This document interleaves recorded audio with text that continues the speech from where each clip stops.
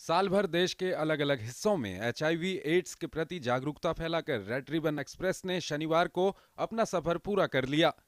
पिछले एक साल के दौरान रेड रिबन एक्सप्रेस ने 23 राज्यों के एक स्टेशनों का सफ़र तय किया।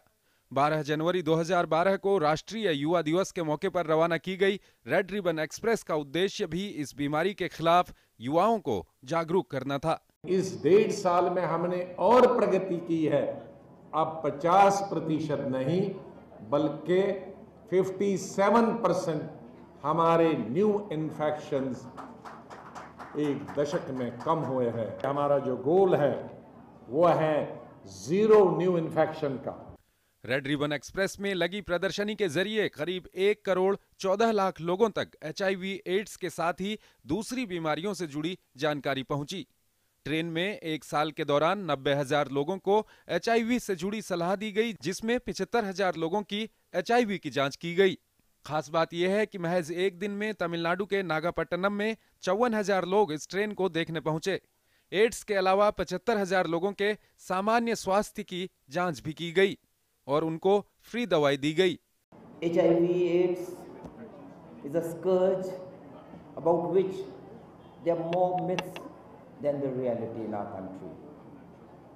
I am confident that two and a half crore of people whose lives you've touched or who visited this, these three phases the, of the Ribbon Express must have got to know that it is the right of anyone if infected with HIV, AIDS, to live a life of dignity.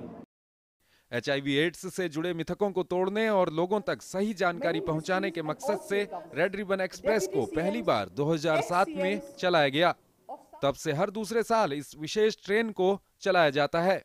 लोगों तक स्वास्थ्य से जुड़ी जानकारी पहुँचाने के लिए हिंदी के साथ साथ दूसरी भाषाओं में भी सूचनाएँ मुहैया कराई जाती हैं। रेलवे को देश की जीवन रेखा माना जाता है। यकीनन जिंदगियों को बचाने की कोशिश में भी ये अहम भूमिका निभा रही है। Nitendra Singh DD news Delhi